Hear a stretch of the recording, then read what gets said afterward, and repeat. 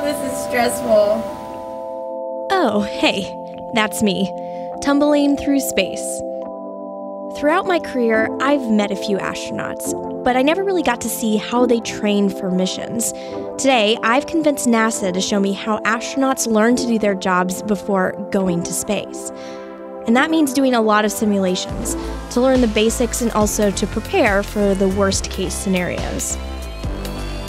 We're here at the Systems Engineering Simulator facility. It's basically fancy talk for we're gonna drive some spaceships.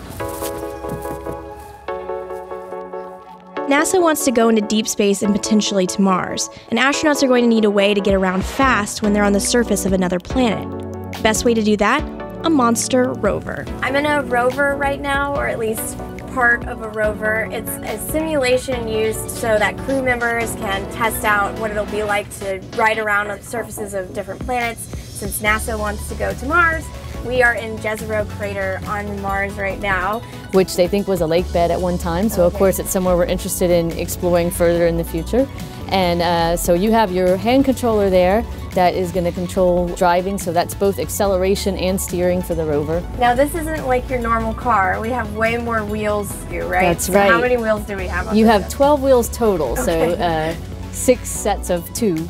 The 12 wheels can move in 360 degrees. That means the rover is capable of basically moving in any direction forward, back, sideways, even spin around in a circle. It takes a while for the wheels to adjust, though, so it felt kind of slow.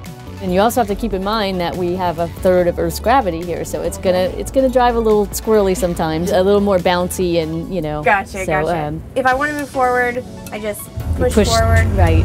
and then I, I've run into this thing. The Mars Ascent Vehicle. I yeah. just run, I've, run it, I've destroyed billions of dollars. So worth now of we can't leave. We're stuck on No. Mars forever now. Driving in a nice, comfy rover is fun and all, but it's not that immersive of an experience. You're kind of just sitting still, moving a joystick. Plus, it's not really practical right now since astronauts won't be going to Mars for many years. But something that is a big part of astronaut training these days is spacewalks. This is the Neutral Buoyancy Lab. Being underwater is the closest thing we have on Earth to recreating the sensation of zero G. That giant structure you see inside is an actual replica of the International Space Station. For testing, astronauts have to suit up outside the pool with a lot of help and then get slowly lowered in. Unfortunately, I won't be going to the pool today, but we have some tech that might supplement for the time being. I'm headed to Johnson Space Center's Virtual Reality Lab. It's where NASA trains astronauts to learn how to do their spacewalks. First up, learning how to maneuver outside the station. I have to replace a battery. One of the things you can do here with this model, since you're in VR, you can actually figure out what it's going to take to get from the airlock or from your current work site out to a new work site. What you're going to do is we're going to start you out here on the truss. You're right around S0, which is one of the truss segments. Turns out replacing a battery in space is way harder than changing out the batteries in your remote. It's a two person job, with one astronaut pulling out the old battery and the other handing over a new unit. Sounds easy, right? Piece of cake. VR is great at showing you exactly where everything is going to be out there and whether you have a good enough wingspan. Got it. Oh, I'm attached. Okay, now you can see you are climbing on the handrail. Oh wow. Okay, so I want to go. There's my destination. I Look, see it. yeah, look off to your right. Bright yellow. No. Hey, you're good at this. I think they're uh, testing for a new astronaut uh, class coming in. You know what? You should just go ahead and apply. I'm clearly the front runner now. All right, I'm here. Is that it? That's it for now. That's it for now. But what would happen if your spacewalk didn't go smoothly? Astronauts are always tethered to the ISS during spacewalks, but NASA always plans for the remote possibility of someone getting disconnected.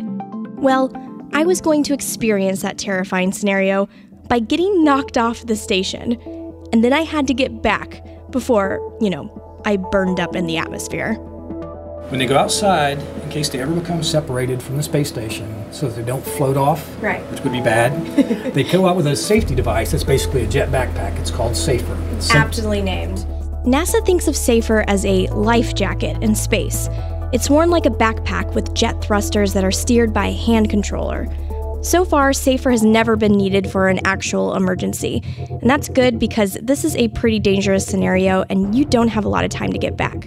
And what about how much fuel do you have before you run out? Approximately five to 10 minutes worth of fuel, depending on how aggressive you are with your So fuel. use. it's it's you're racing against the clock kind of thing. Yes. Yes. You can't you can't just take your time out there. You need to If- get back. If you're out there for more than, say, 15 minutes, it gets very unlikely you're going to rescue. So there I am, that tiny astronaut hanging out at the Quest Joint airlock. Oh no. And there I am, getting farther and farther away from oh, safety. Stressful. Okay, we're going to make you wait just a little bit now before we power up the unit. They leave you spinning for a little bit because you wouldn't be able to get your bearings right away. You've got to slow yourself down and get yourself under control. I think I'd also be screaming. and now you would have the hand control out and you would power it on. Am I supposed Now to? it's going to bring you to a, it's going to cancel out your rotations. Okay. You'll see yourself coming to a stop. All right. So now I need to Look around and find station. The station is definitely to my left. Okay, so, So- yaw to your left. Okay, you want to pitch down just a little bit. You see that round, like the horseshoe Yeah. shaped thing? That is the airlock. So you want to point right back at that spot. Now that I'm facing the station, it's time to switch Now modes. you want to go over to translation mode. That means I can move forward and back or left and right in a straight line. And now start moving towards it. Okay. Here we go. I think we might have changed the game.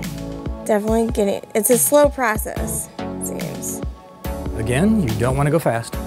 Am I going too fast? No, you're not going too fast. In space, a little bit of thrust goes a long way.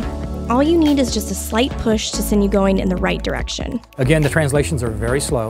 Okay, but George Clooney moved so much faster. Just reach out, and if you, Help if you, if you can grab structure, you're saved. And oh, And now I'm a part of the space You're there. station. And that was the easiest case scenario. Other simulations have astronauts moving away from the station four times faster than that. and at night. And then, Yes, right. And at night. well, how long did it take me to get back?